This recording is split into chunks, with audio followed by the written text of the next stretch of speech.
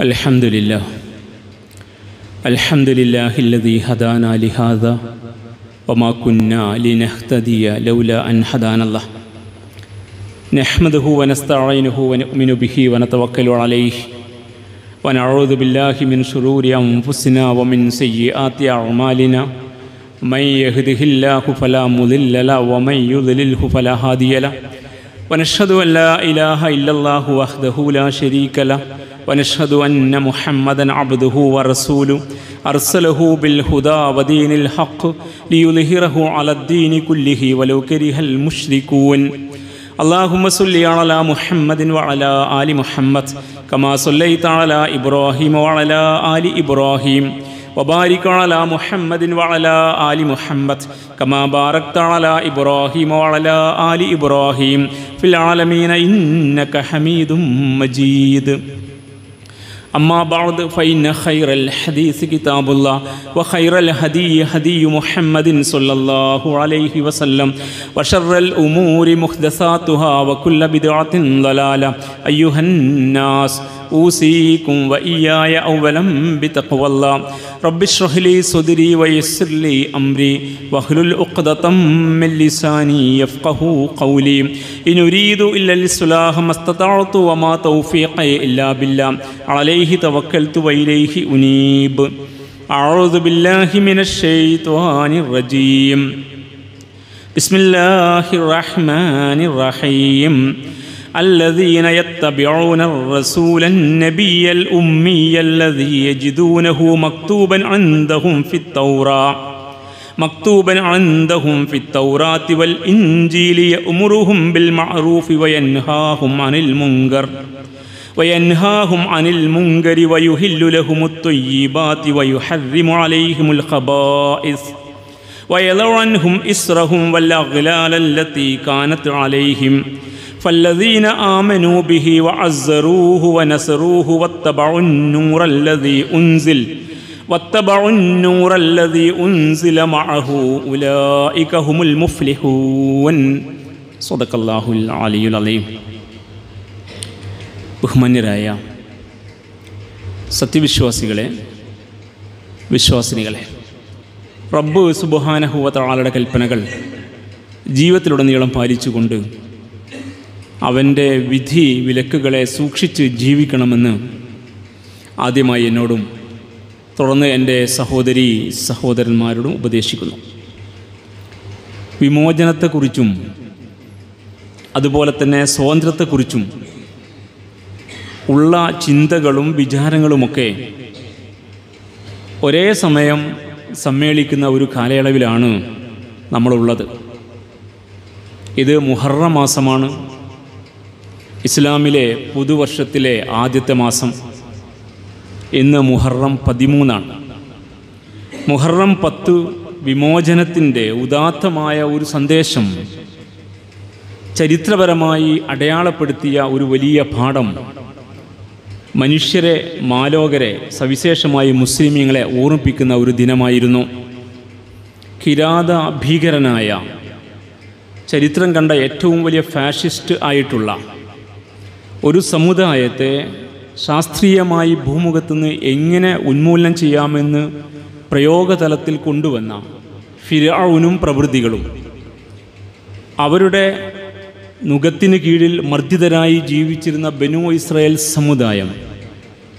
ആ സമുദായം മൂസ അലൈഹി സ്വലാത്തു വസ്സലാം ഹാറൂൺ അലൈഹി സ്വലാത്തു വസ്സലാം രണ്ട് പ്രവാചകന്മാരുടെ നേതൃത്വത്തിൽ ഈജിപ്തിൽ നിന്ന് വിമോചിതരായി കടൽ കടന്ന് മറുകര പറ്റുന്നതും കിരാത ഭീകരനായ ഫാസിസ്റ്റ് നേതാവും അനുചരന്മാരും ഒന്നടങ്കം മുങ്ങി നശിക്കുന്നതുമായ ചരിത്രത്തെ ഏതാണ്ട് മൂവായിരം വർഷങ്ങൾക്കപ്പുറത്ത് നടന്ന ഒരു സംഭവത്തെ എല്ലാ വർഷവും പുതുവർഷത്തിന്റെ പത്താം ദിനത്തിൽ മാലോകരുടെ അനുസ്മരിപ്പിക്കുകയാണ് ഇസ്ലാം. വിമോചനത്തിന്റെ ഉദാത്തമായ പാഠം.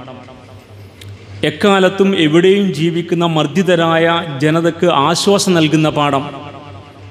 സമാനമായ ഏതു ഭീകര ഭരണ സംവിധാനത്തിന് കീഴിലും ജീവിച്ചു കൊണ്ടിരിക്കുന്ന ആളുകൾക്ക് പ്രതീക്ഷ നൽകുന്ന ദൈവീകമായ ഇടപെടലിന്റെ അള്ളാഹുവിന്റെ സുന്നത്തിന്റെ ഭാഗമായുള്ള ചരിത്രപാഠം.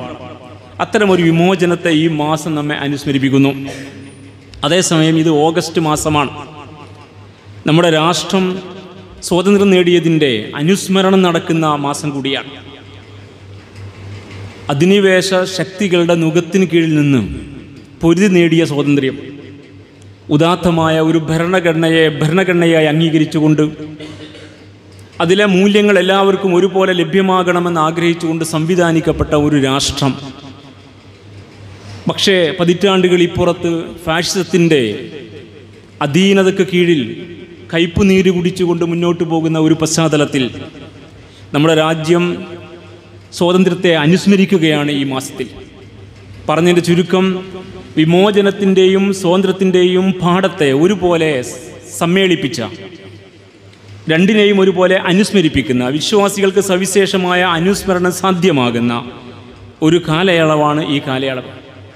അതുകൊണ്ട് തന്നെ വിമോചനത്തെക്കുറിച്ചും സ്വാതന്ത്ര്യത്തെക്കുറിച്ചും ഇസ്ലാം നൽകുന്ന പാഠങ്ങൾ എന്താണെന്ന് പഠിക്കുന്നതും മനസ്സിലാക്കുന്നതും ചർച്ചയ്ക്ക് വിഷയവഹിപ്പിക്കുന്നതും സംഗതമായിരിക്കും ഈ പശ്ചാത്തലത്തിൽ. വിശ്വാസികളായ നാം അറിയേണ്ടത് ഇസ്ലാമിലെ പ്രവാചകന്മാർ വിമോചകന്മാരായിരുന്നു എന്നതാണ്. ഇസ്ലാമിലെ പ്രവാചകന്മാർ സ്വാതന്ത്ര്യത്തിന് വേണ്ടിയും വിമോചനത്തിന് വേണ്ടിയും പണിയെടുത്തവരായിരുന്നു എന്നതുകൂടിയാണ് ഒരു വേള ഈ ആശയത്തെ ഈ പറഞ്ഞതിനെ അങ്ങനെ അങ്ങ് വിഴുങ്ങാൻ ഇസ്ലാമിന് അതിന്റെ ശരിയായ രീതിയിൽ പഠിക്കാത്തവർക്ക് സാധിച്ചു കൊള്ളണമെന്നില്ല. കാരണം അവരുടെ മുമ്പിൽ ഇസ്ലാമിലെ പ്രവാചകൻ കേവലം ഒരു ആത്മീയ നേതാവ് മാത്രമാണ്.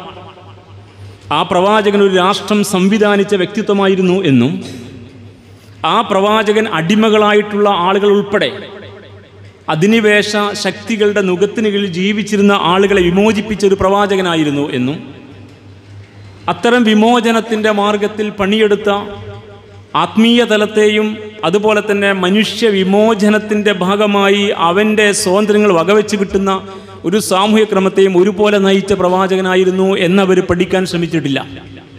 അല്ലെങ്കിൽ അങ്ങനെയുള്ള ഒരു വശത്തെ അങ്ങനെ അങ്ങ് പഠിക്കാൻ അവർക്ക് താല്പര്യമില്ല. അവർ നിലകൊള്ളുന്ന പ്രത്യയശാസ്ത്രങ്ങൾ അവർ മനസ്സിലാക്കിയ രീതികൾ അവർ തീർച്ചപ്പെടുത്തിയ ജീവിത രീതികൾ അവരുടെ സൗകര്യത്തിനനുസൃതമായി ജീവിക്കാൻ അവർ കണ്ട ചില രീതിശാസ്ത്രങ്ങൾ ഇതെല്ലാം കൂടി ചേർന്ന് ഇസ്ലാമിനെ അതിന്റെ ശരിയായ രീതിയിൽ മനസ്സിലാക്കാൻ അവരെ സമ്മതിക്കുന്നില്ല.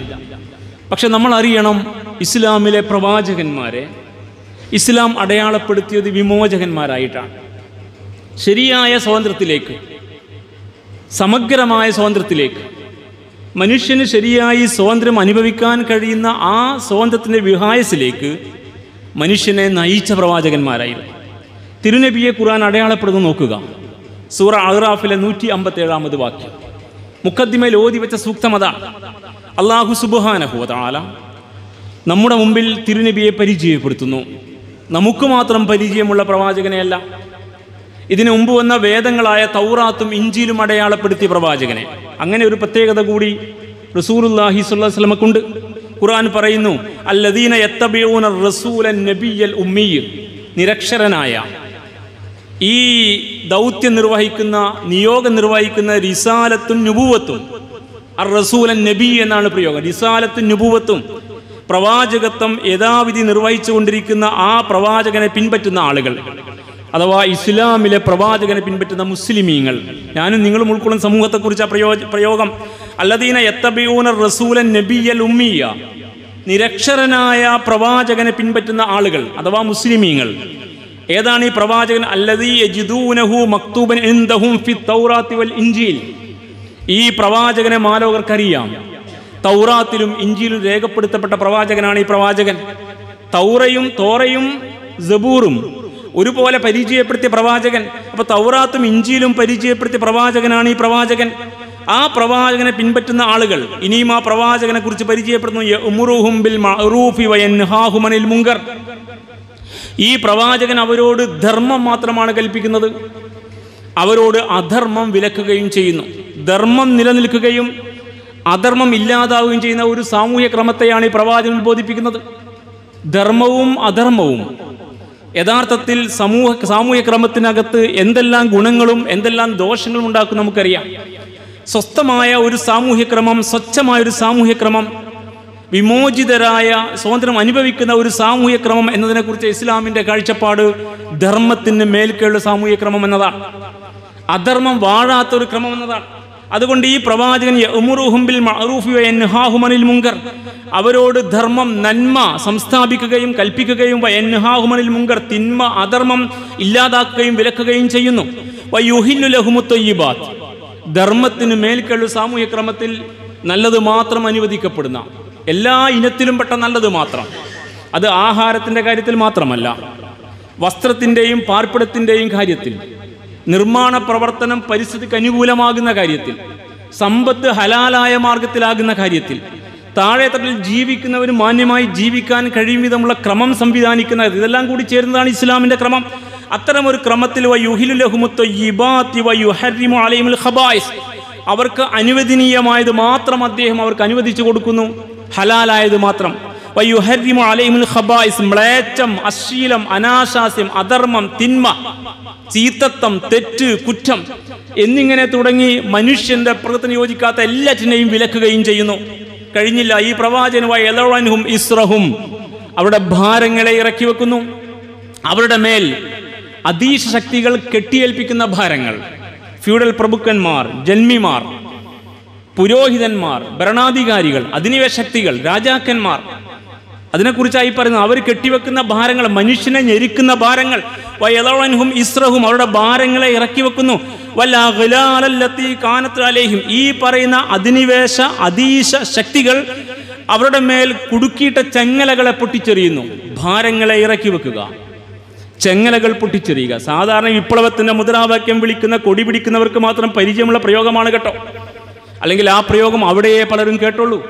പക്ഷേ ഈ പ്രയോഗം തിരുനബിയെ പരിചയപ്പെടുത്ത. വയലവൻഹും ഇസ്രഹും വൽ അഖലാലത്തി കാനത്ത് അലേഹിം. മനുഷ്യന്റെ മേൽ മനുഷ്യർ അവരുടെ മേൽ ആധിപത്യം വാഴുന്നവർ കെട്ടിയേൽപ്പിച്ച ഭാരങ്ങളെ ഇറക്കി വെക്കുകയും വല്ല അഖിലാലത്തി കാനത്ത് അലേഹിയും അവരുടെ മേൽ ഇട്ട കുരുക്കിയിട്ട ചെങ്ങലകൾ പൊട്ടിച്ചെറിയുകയും ചെയ്തുകൊണ്ട് അവർ വിമോചിപ്പിക്കുന്ന പ്രവാചകൻ. ഒരു പ്രവാചകനെ പരിചയപ്പെടുത്തിയ പള്ളിയിൽ ഇമാമ് നിൽക്കുന്ന ഒരു പ്രവാചകന്റെ ഗുണഗണങ്ങളല്ല ഈ പറയുന്നത്. പള്ളിയിൽ ഇമാമത്ത് നിർവഹിക്കുന്ന അതേ പ്രവാചകൻ സമൂഹത്തെ നയിക്കുന്ന നായകനാണ് വിമോചകനാണ്.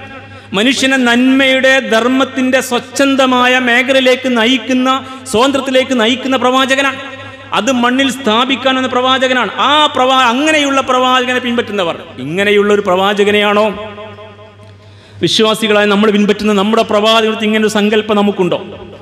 ഇസ്ലാം ഇങ്ങനെ ഒരു സങ്കല്പത്തെ പഠിപ്പിച്ചിരിക്കെ മുസ്ലിമീങ്ങളായ നമ്മൾ എങ്ങനെ ഇത്ര ചുരുങ്ങിപ്പോയി? കേവലം പള്ളിയിലെ ഇമാമത്തും ഫിക്കുഹിന്റെ വിധിയും മാത്രം പറഞ്ഞു പരിചയിച്ച അതുമാത്രം അതിന്റെ കാര്യത്തിൽ മാത്രം പ്രവാചകനെ പരിചയപ്പെടുന്ന അവസ്ഥയിലേക്ക് നമ്മൾ എങ്ങനെ ചുരുങ്ങിപ്പോയി? ആരാണ് നമ്മളെ ഇങ്ങനെ വഞ്ചിച്ചത് എന്നൊരു ചോദ്യം ഈ സന്ദർഭത്തിൽ ഞാനും നിങ്ങൾ സ്വന്തത്തോട് ചോദിക്കേണ്ടത്. പക്ഷേ ഇവിടെ ആ പ്രവാചകനെ ഇങ്ങനെ പരിചയപ്പെടുത്ത ഈ പ്രവാചകനെ പിൻപറ്റുന്നവർ നമ്മൾ പിൻപറ്റുന്ന പ്രവാചകൻ ഇതൊക്കെയാണ്. നിങ്ങൾ പിൻപറ്റുന്ന പ്രവാചകൻ ഇതൊക്കെയായിരുന്നു അല്ല പറയാ. അല്ല പറയുമ്പോൾ അത് സമ്മതിക്കാൻ കഴിയാത്ത സമ്മതിക്കാൻ തയ്യാറാകാത്ത ആളുകളെ കുറിച്ച് എന്ത് പറയണമെന്ന് നമ്മൾ സ്വയം ഉത്തരം കണ്ടെത്തണം. അല്ല പറയാൻ നിങ്ങളെ പ്രവാചകൻ ഇതാ. ആ പ്രവാചകനെ പിൻപറ്റുന്ന ആളുകൾ മനസ്സിലാക്കണം നിങ്ങളുടെ പ്രവാചകൻ ഇതാണ്. ആ പ്രവാചന തൗറാത്തും ഇഞ്ചിലും ഇങ്ങനെ പരിചയപ്പെടുത്തിയിട്ടുണ്ട്. അഥവാ മാലോകർക്ക് ഈ പ്രവാചകനെ അറിയാം. ആ പ്രവാചകൻ നന്മ കൽപ്പിക്കാനും സ്ഥാപിക്കാനും തിന്മ വിലക്കാനും ഇല്ലാതാക്കാനും വന്ന പ്രവാചകന. നിസ്കരിച്ച് നോമ്പ് നോറ്റ് ദിക്കുഞ്ഞൊല്ലി ഭാഗത്ത് ഇരിക്കുന്ന പ്രവാചകനല്ല ഇടപെടുന്ന പ്രവാചകന. ആ പ്രവാചകൻ യുഹിൽ ഖബായിസ് അവർക്ക് നല്ലത് മാത്രമേ അനുവദിക്കൂ നല്ലത് മാത്രം നിലനിൽക്കുന്ന ഒരു ക്രമം. ഒരു അധർമ്മം നിലനിൽക്കാത്ത ഒരു ക്രമം. അത് ഇസ്ലാമിന്റെ സ്വപ്ന വിമോചനത്തിന്റെ സ്വപ്നമാണ്. മനുഷ്യൻ സ്വതന്ത്രമായി ജീവിക്കാൻ പറ്റുന്ന സാമൂഹിക ക്രമത്തിന്റെ സ്വപ്നമാണ്. അതുകൊണ്ട് നല്ലത് മാത്രം അനുവദിക്കുകയും ചീത്ത വിലക്കുന്ന ഒരു പ്രവാചകൻ. സർവോപരി ഈ പ്രവാചകനുമായി എലവൻഹും ഇസ്രഹും വല്ല അകലാലത്തി കാനത്താലേയും അവരെ വരിഞ്ഞു മുറുക്കുന്ന ചെങ്ങലക്കെട്ടുകളെ പൊട്ടിച്ചെറിയുകയും അവരുടെ മേൽ അതീശക്തികൾ കയറ്റിവെച്ച ഭാരങ്ങളെ ഇറക്കി വെക്കുകയും മനുഷ്യന്റെ പിരടികളെ വിമോചിപ്പിച്ച് സ്വതന്ത്രമായി സ്വച്ഛമായി വിമോചിതരായി ജീവിക്കാൻ അവസരമൊരുക്കുന്ന പ്രവാചകൻ. അങ്ങനെയുള്ള പ്രവാചകനെ പിൻപറ്റുന്നവർ അങ്ങനെയുള്ള പ്രവാചകനെ പിൻപറ്റുന്ന ഈ യാഥാർത്ഥ്യം അറിയുന്നവരാണ് ലക്ഷണമൊത്ത മുസ്ലിമീങ്ങൾ എന്ന് സഹോദരന്മാരെ ഞാൻ നിങ്ങൾ ഓർക്കണം. അപ്പൊ അങ്ങനെയുള്ള പ്രവാചകനെ പിൻപറ്റുന്നവർ ഫല്ലദീന ആമനൂബിഹി അവരെ കുറിച്ച് വീണ്ടും ആ വിശ്വാസത്തെ കുറിച്ച് പറയാം ഫല്ലദീന ആമനൂബിഹി അവരിൽ ആ പ്രവാചകനെ വിശ്വസിക്കുന്നവർ ആ പ്രവാചകനെ ശക്തിപ്പെടുത്തുന്നവർ ശക്തിപ്പെടുത്തുക. വനസറൂഹു ആ പ്രവാചകന്റെ മാർഗത്തിൽ സഹായികളായി നിൽക്കുക. വത്തബഉ നൂറല്ലദീ ഉൻസില മഅഹു ആ പ്രവാചകന്റെ കൂടെ അവതരിപ്പിക്കപ്പെട്ട പ്രകാശത്തെ പിൻപറ്റുക. എത്ര കാര്യങ്ങളാണ് പറഞ്ഞത്?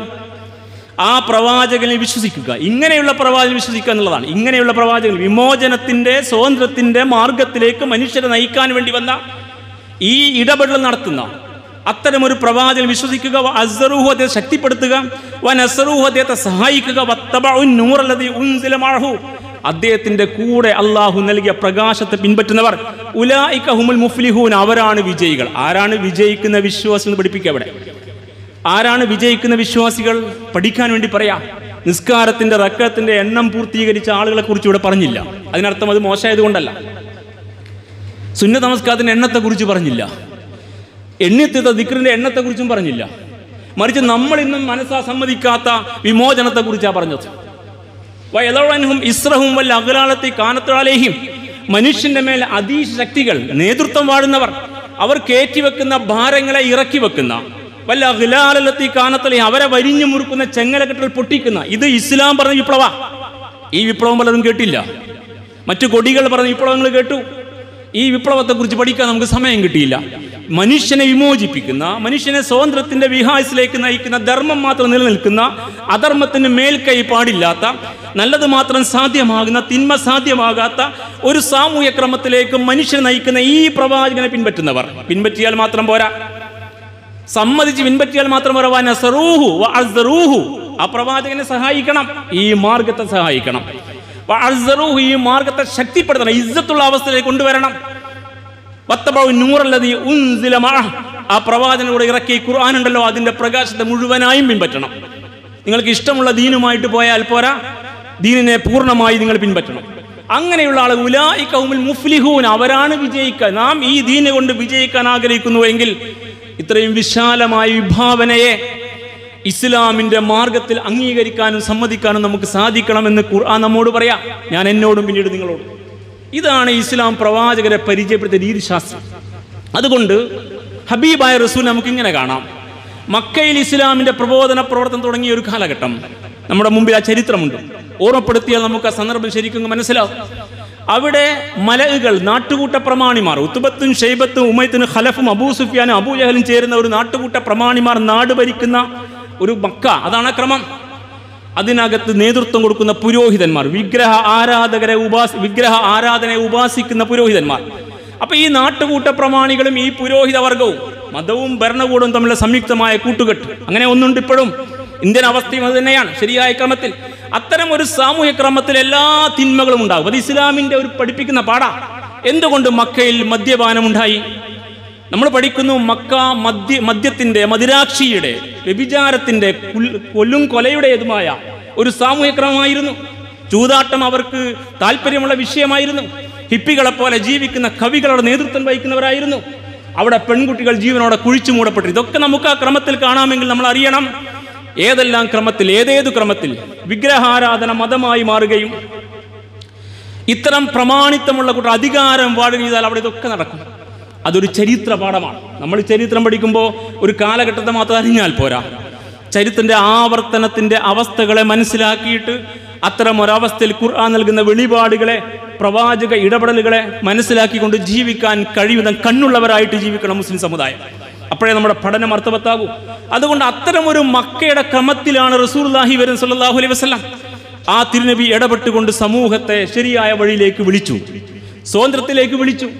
വിമോചനത്തിന്റെ മാർഗത്തിലേക്ക് വിളിച്ചു നിങ്ങൾ അടിമകളെ പോലെ ജീവിക്കേണ്ടവല്ല നിങ്ങൾ സ്വതന്ത്രരായി ജീവിക്കേണ്ടവരാ. സ്വതന്ത്രരായിട്ട് ജീവിക്കേണ്ടവരാ. അവരോട് പറഞ്ഞ വർത്തമാനത്തിന്റെ പൊരുളതാ. നിങ്ങളെ അടിമവൽക്കരിക്കുന്ന ഈ മതമുണ്ടല്ലോ. വിഗ്രഹ ആരാധിഷ്ഠിതമായ ബഹുദൈവ ആരാധനാക്രമം. നിങ്ങൾ അത് നേതൃത്വം കൊടുക്കുന്ന പുരോഹിതന്മാർ അതിൽ നിന്ന് മുതലെടുത്തുകൊണ്ട് നിലകൊള്ളുന്ന അതിശക്തികൾ അവരെയൊക്കെ വിട്ടിട്ട് നിങ്ങൾ ലാ ഇലാഹ ഇല്ലല്ലാ നിങ്ങൾക്ക് മുകൾ തമ്പുരാൻ മാത്രമുള്ള ക്രമത്തിലേക്ക് വരണം എന്നാ പറഞ്ഞത്. അതാണ് പറഞ്ഞതിന്റെ ചുരുക്കം. നിങ്ങൾ അവിടെ പോക്ക് നിർത്തി ഇവിടെ നിസ്കരിച്ചോളെന്ന് മാത്രമല്ല അങ്ങനെ നിസ്കരിക്കണമെന്ന് ക്രമമില്ല മക്കയിൽ. നിസ്കരിക്കാൻ ചൂണ്ടിക്കാണിക്കണം ഇടമില്ലാത്ത മക്ക. അപ്പൊ മക്കയിലെ പ്രബോധനത്തിന്റെ പൊരുൾ നിങ്ങൾ അവിടെ പോയി പൂജിക്ക് നിർത്തിയിട്ട് ഇവിടെ നിസ്കരിച്ചോളിൻ എന്നല്ല. അതല്ല ഇസ്ലാമിന്റെ ആഹ്വാനം. മറിച്ച് നിങ്ങളുടെ കാഴ്ചപ്പാടുകൾ മാറട്ടെ. നിങ്ങൾക്ക് തിരിച്ചറിവുണ്ടാവട്ടെ. ഇത്തരം ഒരു സാമൂഹ്യ ക്രമത്തിലല്ല നിങ്ങൾ ജീവിക്കേണ്ടത്. ധർമ്മം വാഴുന്ന നീതി ലഭ്യമാകുന്ന അവസാനത്തെ സമൂഹത്തിലെ അവസാനത്തെ ആൾക്കും താഴെത്തട്ടിലെ മനുഷ്യനും സ്വതന്ത്രമായി ജീവിക്കാൻ ഒരു ക്രമമുണ്ടാവണം. അതിനുള്ള മാർഗം തമ്പുരാന്റെ കൽപ്പനയ്ക്ക് വഴിപ്പെടല. അതിലേക്കാ വിളിച്ചത് ആളുകൾ വന്നു. അതുകൊണ്ടാ വന്നതിൽ ഭൂരിപക്ഷവും ഏഴകളും തോഴകളും അടിമകളുമായത്. അത് വെറുതെ സംഭവിക്കുന്ന ഒന്നല്ല. അവർക്ക് വേണ്ടി സംസാരിക്കുന്ന ഒരു വിമോചകന്റെ ശബ്ദത്തിൽ അവർ സ്വപ്നങ്ങൾ നെയ്തെടുത്തു. അപ്പോൾ അവർ പ്രവാചകന്റെ കൂടെ കൂടി. അതുകൊണ്ടാണ് ചുട്ടുപഴുത്ത മണൽ കല്ല് കയറ്റി വെക്കപ്പെട്ട അവസ്ഥയിലും ആ മതം വിടാതെ ബിലാൽ ചരിത്രം സൃഷ്ടിച്ചത്. അതുകൊണ്ടാണ് സ്ത്രീ ആയിരിക്കെ തന്നെ കരുത്തോടെ ഇസ്ലാമിന്റെ മാർഗത്തിൽ അവസാന ശ്വാസവും നിലനിർത്തിക്കൊണ്ട് അങ്ങനെ ഇസ്ലാമിൽ ഷഹാത്ത് വരിച്ച ആദ്യത്തെ രക്തസാക്ഷിയായി മാറിയത്. ഇത് ചരിത്ര. വിമോചനത്തിന്റെ വിഹായസിലേക്ക് സ്വാതന്ത്ര്യത്തിന്റെ ശരിയായ സങ്കല്പത്തിലേക്ക് മനുഷ്യനെ വിളിക്കാൻ ആ പ്രവാചകൻ വന്നത്. അതായിരുന്നു ഹബീബിന്റെ ഉത്ബോധനം. അങ്ങനെ അടികൊണ്ടും മർദ്ദനത്തിന് വിധേയപ്പെട്ടും ജീവിക്കുന്ന സമൂഹത്തിന്റെ ഒരു ചിത്രം നമ്മൾ കാണുക ചരിത്രത്തിൽ. അവർ തിരുനബടുക്കൽ വന്നിരിക്കുക. മക്കയിൽ ഇസ്ലാമിന് ആധിപത്യമില്ലാത്ത ആ മക്കയിൽ കാഴ്ബയുടെ ചാരത്തിൽ റസൂർലാഹി എങ്ങനെയാണ് ലഹു? കഅബ തന്റെ കൂടെ കൊണ്ട് നടക്കുന്ന ഒരു പുതപ്പുണ്ട്. റസൂൽ ആ പുതപ്പ് ഇങ്ങനെ മടക്കി വെച്ചിട്ട് അതിൽ അത് തലയാണാക്കി വെച്ച് കാഴ്ബട നില്ലൽ കാഴ്ബ കാഴ്ബട തണൽ വിഷമിക്കുന്ന ഹബീബിന്റെ അടുക്കൽ അടി കൊണ്ടുകൊണ്ടിരിക്കുന്ന ഈ സമൂഹത്തിലെ ഹബ്ബാവിന് അറത്തുറിയാവു താലാനുഹു തിരുനബി ചാരിക്കടന്ന് വിഷമിക്കാം. എന്നിട്ട് റസൂലിനോട് ചോദിച്ചു വക്കുല്ല ഞങ്ങൾ പറഞ്ഞു അലാ തസ്തൻസുറുലന അലാ തദൂലന ബുഹാരി ഉദ്ധരിച്ച ഹദീസാണ്. ഷഹിബിന് ബാസി ഈ ഹദീസ് ഉദ്ധരിച്ചുകൊണ്ട് ശരി ശരിയായ വിമോചനത്തെ കുറിച്ച് പഠിപ്പിക്കുന്നുണ്ട്. പ്രവാചകരെ അങ്ങ് ഞങ്ങൾക്ക് വേണ്ടി പ്രാർത്ഥിക്കുന്നില്ലേ? ഖബ്ബാറിയാവത്താണ് ചോദിക്കുക അങ്ങ് ഞങ്ങൾക്ക് വേണ്ടി സഹായം അർത്ഥിക്കുന്നില്ലേ ഫക്കാൽ റസൂലുള്ളാഹി പറഞ്ഞു കത് കാനമൻ ഖബലക്കും നിങ്ങൾക്ക് മുമ്പ് കഴിഞ്ഞു പോയ ആളുകൾ. യൂഹദുർ റജുലു അതിൽ ഓരോരുത്തരെ ഇവർ പിടിച്ചുകൊണ്ടുപോകും ഇസ്ലാമിന്റെ എതിരാളികൾ. എന്നിട്ടോ ലഹൂഫിൽ ലഹു ഫിൽ അർൾ ഭൂമിയിൽ വലിയ കുഴി കുഴിക്കും. എന്നിട്ട് അവൻ ആ കുഴിയിൽ ഇറക്കി നിർത്തും.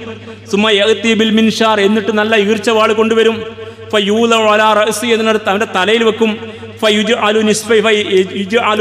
അങ്ങനെ ഈർന്ന് അവനെ രണ്ട് ഭാഗമാക്കി മാറ്റും. അങ്ങനെ നിങ്ങളിൽപ്പെട്ട ആളുകളെ മുമ്പ് പീഡിപ്പിക്കപ്പെട്ടിട്ടുണ്ട്.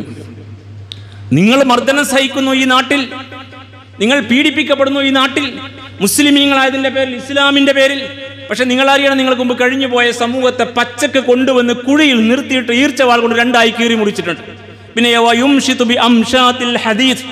ഇരുമ്പിന്റെ ചീർപ്പുകൾ കൊണ്ട് മാദൂന ലഹ്മിഹി വ അലമിഹി അവന്റെ എല്ലും മാംസം രണ്ടാവിധം ചീർത്ത് ചീന്തിയെടുക്കാറുണ്ട് വാർന്നെടുക്കാറുണ്ട്. ഇരുമ്പിന്റെ ചീർപ്പ് കൊണ്ട് ശരീരത്തിൽ വാരുക. എന്നിട്ടോ മാംസം വേർതിരിക്കുക എല്ലിൽ നിന്ന്. ഇങ്ങനെ പീഡിപ്പിച്ചിരുന്നു. പക്ഷേ മായ സുദ്ദുഹു അതൊന്നും അവരുടെ ദീൻ വിടാൻ അവരെ പ്രേരിപ്പിച്ചില്ല.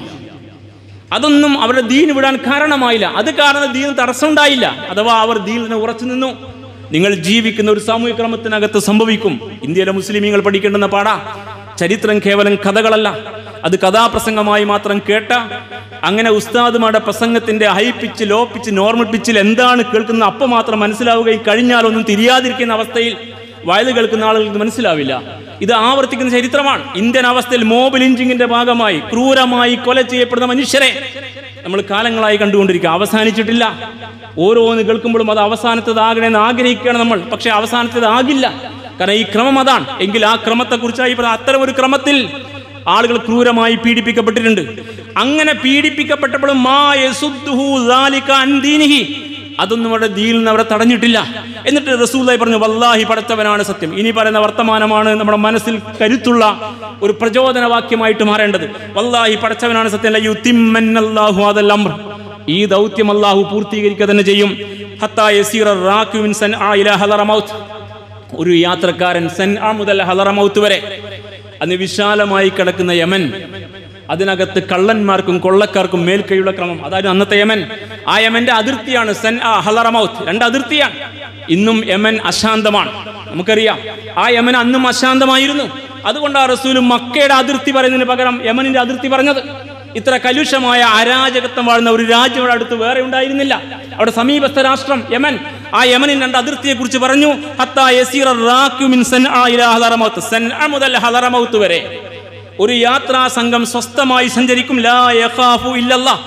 അവിടെ യാത്ര അള്ളാഹുവിനെ മാത്രം ഭയന്നാൽ മതിയാകും.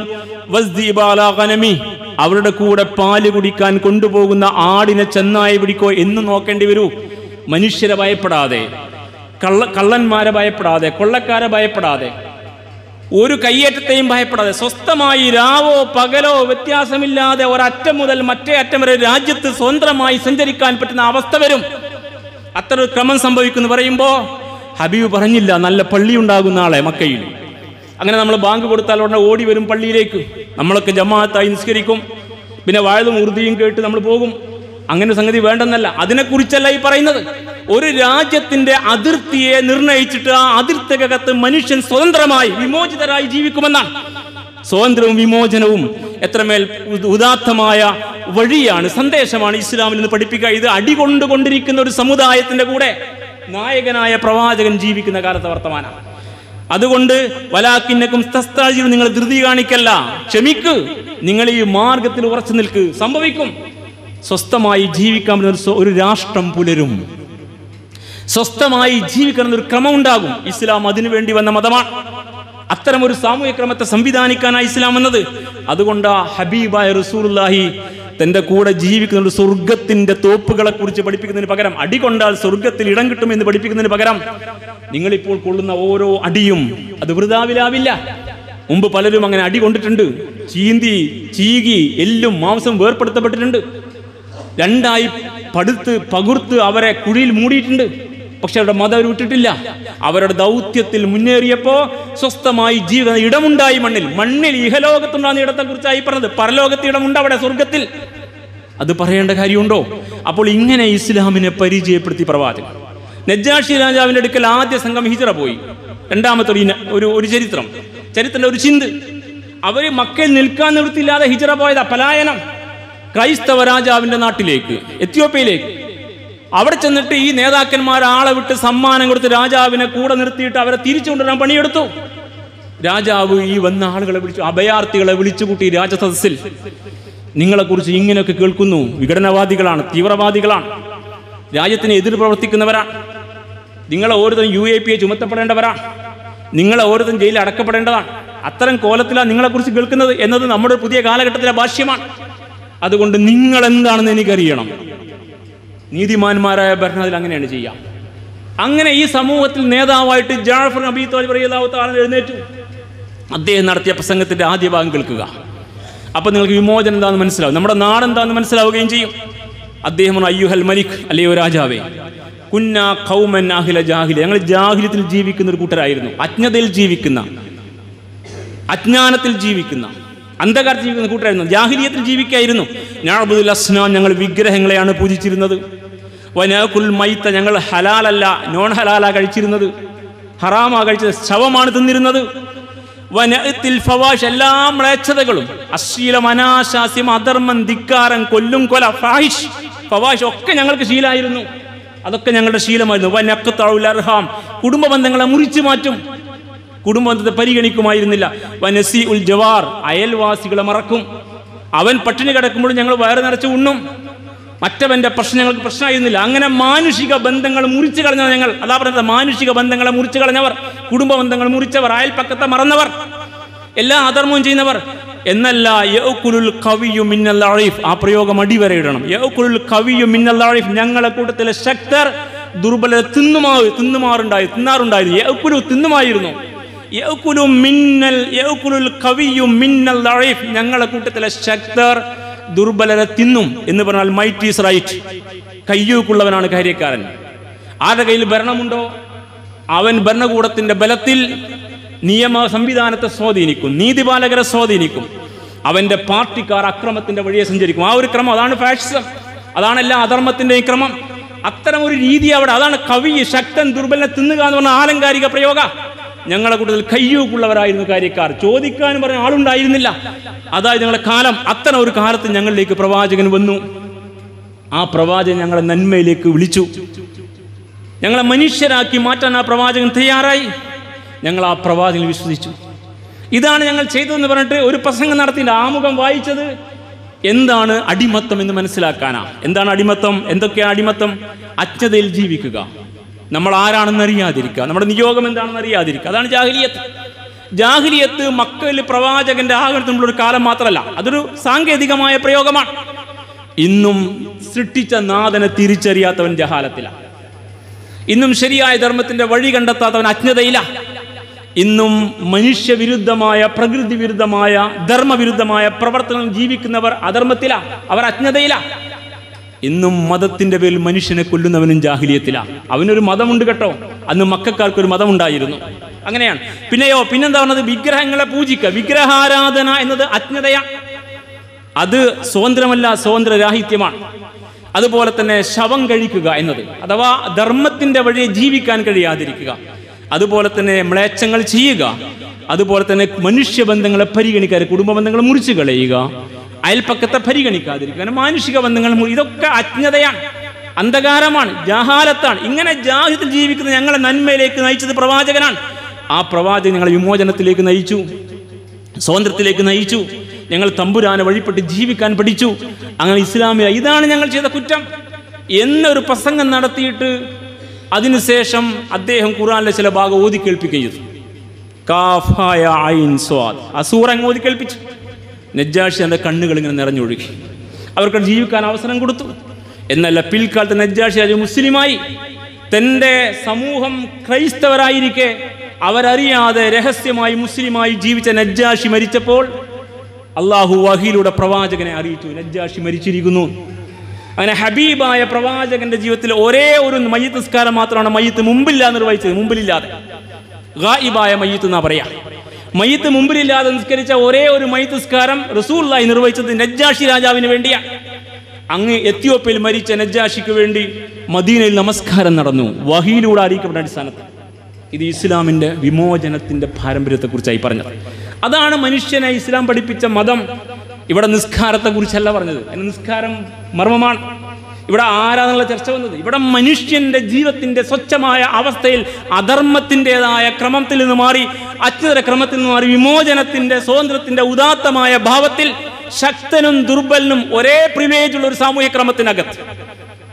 ഭരിക്കുന്നവനും ഭരണീയനും ഉള്ളവനും ഇല്ലാത്ത ഒരേ പ്രിവിലേജ് കിട്ടുന്ന ഒരേ മുൻഗണന കിട്ടുന്ന ഒരു സാമൂഹിക ക്രമത്തിനകത്ത് മനുഷ്യർ ജീവിക്കലാണ്. അതാണ് ഇസ്ലാമിലെ വിമോചനം. അതാണ് സ്വാതന്ത്ര്യം. അത് പ്രവാചകന്മാരുടെ നിയോഗമാണ്. അത് മനസ്സിലാക്കിയവരാ ആ കാലത്ത് ഇസ്ലാമിലേക്ക് വന്നത്. ഇനിയും നിങ്ങൾ കേൾക്കൊരു ചരിത്രം കൂടി. റസൂൽ സദസ്സിനോട് പറയാ ആ സദസ്സിൽ കൂടെ ഇരിക്കുന്ന ഒരു സഹാബിന്റെ അദീബിന് ഹത്തിം. അദീബിന് ഹാത്തിം അള്ളാഹു റസൂൽ ചോദിച്ചു യാ ഹൽ ഹീറ? നീ ഹീറ കണ്ടിട്ടുണ്ടോ? അൽ ഹീറ ഒരു സ്ഥലത്തിന്റെ പേരാ. ഇറാഖിലെ വിദൂര ദിക്കിലുള്ളൊരു പട്ടണമാണ് ഹീറ. ആ ഹീറ നീ കണ്ടിട്ടുണ്ടോ? അവരുടെ നാട്ടിൽ നിന്ന് കുറെ ദൂരെ സഞ്ചരിക്കണം. അന്നത്തെ കാലഘട്ടത്തിലെ അവസ്ഥ വെച്ചുകൊണ്ട്. ഹൽ ഹീറ നീ ഹീറ കണ്ടിട്ടുണ്ടോ? അപ്പൊ ആദ്യം കുൽത്തൂലം അറഹ ഞാനത് കണ്ടിട്ടില്ല. ആദ്യം ആദ്യം പറയാം. അപ്പൊ റസൂൽ നാഹി പറയാ ബാക്കി വർത്തമാനം. അന്ന നബിയ ഖാലലഹു അപ്പൊ റസൂൽ അദ്ദേഹത്തോട് പറഞ്ഞു അലൈഹി വസല്ലം ഫൈൻ താലത്ത് ഹയാത്തും നിനക്ക് ആയുസ്സുണ്ടെങ്കിൽ നിനക്ക് അല്ല ജീവിതം ദീർഘിപ്പിച്ചു തന്നിട്ടുണ്ടെങ്കിൽ തരികയാണെങ്കിൽ നിനക്ക് ആയുസ്സുണ്ടെങ്കിൽ ലതറയന്ന നീ കാണും. ഇങ്ങനെ ഒരു കാഴ്ച നീ കാണും.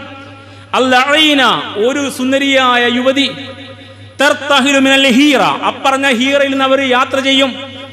അങ്ങനെ അവർ ഒറ്റയ്ക്ക് സഞ്ചരിക്കും. ഒട്ടകപ്പുറത്തോ കുതിരപ്പുറത്തോ അന്നത്തെ അവസ്ഥ സഞ്ചരിക്കും. എന്നിട്ടോ അവർ വരും. ഹത്താ തത്തൂഹബിൽ കാഴ്ബ. എന്നിട്ട് ആ പെൺകുട്ടി കാഴ്ബയെ തവാഫി തിരിച്ചു പോകും. ഒരാളും അവരെ റേപ്പ് ചെയ്യില്ല. ഒരാളും കയ്യേറ്റ് ചെയ്യില്ല. ഒരാളും പിടികൂടുക ഒരാൾ ആക്രമിക്കില്ല. ആരും അവിടെ അഭിമാനത്തെ ശതപ്പെടുത്തില്ല അവർ ആരെയും ഭയപ്പെടേണ്ടി വരില്ല. ഹീറയിൽ നിന്ന് അരാജകത്വത്തിന്റെ പട്ടണമായി ഗുണ്ടകൾ വാഴുന്ന അന്നത്തെ ഇറാഖിലെ ഹീറ. ആ ഹീറയിൽ നിന്ന് ഒരു പെൺകുട്ടി സ്വസ്ഥമായി സഞ്ചരിച്ച് ഇത്രയും കാതം നടന്നു വന്ന് സഞ്ചരിച്ചു വന്ന് കാഴ്ബയെ തവാഫി തിരിച്ചു പോകുന്ന കാഴ്ച നിനക്ക് ആയുസുണ്ടെങ്കിൽ കാണാം. ഇത് ഏത് പ്രവാചകനായി പറയുന്നത്? അതാണ് ഈ പ്രവാചകൻ. അതാണ് ഇസ്ലാമിലെ വിമോചനം. അതാണ് ഇസ്ലാം സ്വാതന്ത്ര്യം. അതിന് സ്വാതന്ത്ര്യം ഉണ്ടാവണം ഒരു പെണ്ണിന് സ്വസ്ഥമായി ഇറങ്ങി നടക്കാൻ പറ്റുന്ന ക്രമമുണ്ടെങ്കിലേ നിങ്ങൾ സ്വതന്ത്രരാവൂ. നിങ്ങൾ പതാക എത്ര ഉയർത്തിയിട്ട് ഉറക്കെ നിങ്ങൾ പതാക ഗാനം പാടുമ്പോഴും അതൊക്കെ വേണ്ട കാര്യം തന്നെ. പക്ഷേ നിങ്ങൾ ഈ അതീശത്തിന്റെ അധിനിവേശത്തിന്റെ അധർമ്മത്തിന്റെ കയ്പ് നീര് കുടിച്ചുകൊണ്ടിരിക്കാൻ നിങ്ങൾ അങ്ങനെ സ്വതന്ത്രരാകും. നിങ്ങൾ വിമോചിതരാകുന്നത് നിങ്ങളുടെ നാട്ടിൽ ഏത് പെൺകുട്ടിക്കും ഏത് സമയത്ത് ഇറങ്ങി നടക്കാൻ പറ്റുന്ന അവസ്ഥയിൽ നിങ്ങൾ മാന്യന്മാരാകുമ്പോഴാണ്. അതാണ് ധർമ്മത്തിന് മേൽ കൈയുള്ള ക്രമം. ഇതൊരു പ്രവാചകൻ പഠിപ്പിച്ച പാടാ ഇത് പഠിക്കാതെ നിങ്ങൾ നമസ്കാരം ശർത്തം പറഞ്ഞു പഠിക്കാനാ പോയത്. അത് പഠിക്കേണ്ട കാര്യം തന്നെ. പക്ഷെ നിങ്ങൾ അറിയണം വിമോചനവും സ്വാതന്ത്ര്യവും അത്രമേൽ മർമ്മമാണ് ഇസ്ലാമിന്. അതുകൊണ്ട് റസൂല ഇങ്ങനെ പറഞ്ഞു ഇല്ലല്ലാ. അവരാ ആ പെൺകുട്ടിയായ യാത്രയിൽ അള്ളാഹുനല്ലാതെ മറ്റാരെയും ഭയപ്പെടേണ്ടി വരില്ല. അള്ളാഹുവിനെ അല്ലാതെ മറ്റാരെയും ഭയപ്പെടാതെ ഒരു സ്ത്രീക്ക് ഏത് ദിക്കിൽ നിന്ന് സഞ്ചരിച്ചു വന്ന് കാഴ്ബയിൽ തവാവ് തിരിച്ചു വരാൻ പറ്റും വിധമുള്ള സാമൂഹ്യ ക്രമം ലോകത്ത് സംജാതമാകുന്നത് വിമോചിതരാകും നമ്മൾ സ്വതന്ത്രരാകും നമ്മൾ പിന്നെയും അതിനോട് പറയാ. നിനക്ക് ആയുസ് ഉണ്ടെങ്കിൽ നിന്റെ ആയുസ് നീണ്ടു കിട്ടുകയാണെങ്കിൽ. നിങ്ങൾ കിസ്രയാകുന്ന ഭരണകൂടത്തിന്റെ ഖജനാവ് തുറക്കും ഞാൻ ചോദിച്ചു ഹുർമുസ് ഹുർമുസിന്റെ മകൻ കിസ്രയെ കുറിച്ചാണോ താങ്കൾ പറയുന്നത്? അന്ന് കിസ്ര കിസ്ര കൈസർ റോമും പേർഷ്യയും ആ അധിനിവേശ ശക്തികൾ രണ്ടു രോഗ ശക്തികളാണ്. മുമ്പൊരു കെട്ടത് യു എസ് എസ് ആർ ഇപ്പുറത്ത് അമേരിക്കൻ ചേരി ഉണ്ടായതുപോലെ. അതിനുമ്പ് ലോകത്തുള്ള ചേരികളാ കിസ്രയും കൈസറും രണ്ട് അധിനിവേശ ശക്തികൾ ലോകശക്തികൾ. അതിലൊരു ശക്തിയെ കുറിച്ചായി പറയുന്നത്? എവിടെ? മക്കയിൽ ഇരിക്കുന്ന പ്രവാചകൻ. അങ്ങനെ നിനക്ക് ജീവനുണ്ടെങ്കിൽ ആയുസ്സുണ്ടെങ്കിൽ കിസ്രയുടെ ഖജനാവ് നിങ്ങൾ തുറക്കും. അപ്പൊ ഞാൻ ചോദിച്ചു കാല കിസ്രബിന് ഹുർമുസ്? ഹുർമുസിന്റെ മകൻ കിസ്രയെ കുറിച്ചാണോ? കാല റസൂൽ പറഞ്ഞു കിസ്രബിന് ഹുർമുസ് നാം. അതെ ഹുർമുസിന്റെ മകൻ കിസ്ര തന്നെ. ആ കിസ്ര ഭരിക്കുന്ന രാജ്യത്തിന്റെ ഖജനാവ് നിങ്ങൾ തുറക്കും. വീണ്ടും റസൂൽ പറയാ അതിവിനാത്തിവിനോട് വലയിൻ താലത്ത് ബികഹയ ഇനിയും നിനക്ക് ആയുസ്സുണ്ടെങ്കിൽ നീ ഒരാളെ കാണും. ആ കാലഘട്ടത്തിൽ അയാൾ കൈനിറയെ സ്വർണവും വെള്ളിയുമായി ഇറങ്ങി നടക്കും. അഥവാ പണം കൊണ്ട് പുറത്തിറങ്ങും. തന്റെ കയ്യിൽ പണവുമായി പുറത്തിറങ്ങും. അന്നത്തെ നാണയങ്ങളാണ് സ്വർണവും വെള്ളിയും. എന്നിട്ടോ ആരിത് സ്വീകരിക്കും എന്നിങ്ങനെ ചോദിച്ചുകൊണ്ടിരിക്കും. ആര് സ്വീകരിക്കും സക്കാത്ത്? എന്റെ സക്കാത്താണ്. ആരുണ്ട് സ്വീകരിക്കാൻ? ഇതെന്റെ സക്കാത്തിന്റെ പണമാണ്. ആരുണ്ട് സ്വീകരിക്കാൻ? എന്ന് ചോദിച്ചു നടക്കുന്ന കാലം നിനക്ക് കാണാം. പക്ഷേ വലാ ഇത് അഹദൻ സ്വീകരിക്കാൻ ആരെയും കാണില്ല. പട്ടിണിക്കാരില്ലാത്ത രാജ്യം. ഇത് ഇസ്ലാം പറയാ സംഭവിച്ചതാ. തിരുനബിക്ക് ശേഷം ജക്കാത്തുമായി പുറത്തിറങ്ങിയിട്ട് സ്വീകരിക്കാൻ ആളുണ്ടായിട്ടില്ല. സംഭവിച്ചതാ. അപ്പൊ ഈ മൂന്ന് കാര്യങ്ങളെന്ന് റസൂൽ പറയാ ജീവിതകാലത്ത്. പിന്നീട് അതീ പറയാ തന്റെ അനുഭവം പറയാം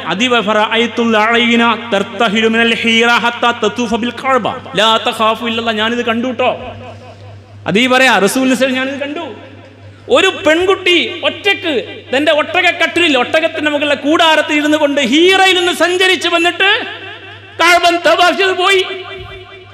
ഞാനത് കണ്ടു. സ്വാതന്ത്ര്യത്തിന്റെ വിമോചനത്തിന്റെ ഉദാത്തമായ മാതൃക സംവിധാനിക്കപ്പെട്ടു ഇസ്ലാമിൽ. അതാണ് ഇസ്ലാം.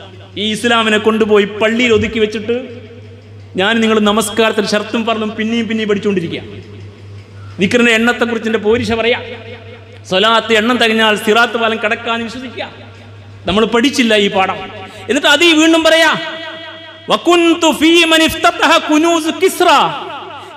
ഖജനാവ് തുറക്കുന്ന സമയത്ത് ഞാനുണ്ടായിരുന്നു അവിടെ. റസൂലിന് ശേഷം ഉമർ ഖത്താബിന്റെ കാലത്താ സംഭവം.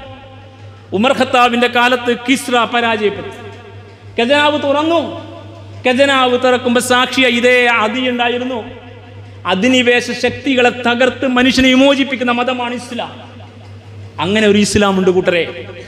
ഈ ഇസ്ലാമിനെ കുറിച്ചാണ് നമ്മൾ പഠിക്കേണ്ടത്. പുതിയ കാലഘട്ടത്തിൽ മുസ്ലിമീങ്ങൾ മാപ്പ് സാക്ഷികളാവാതെ ജീവിക്കണമെങ്കിൽ ഇസ്ലാമിന് കരുത്തുള്ളവരായിട്ട് മാറണം. ഇന്ന് മാപ്പ് സാക്ഷികളാ.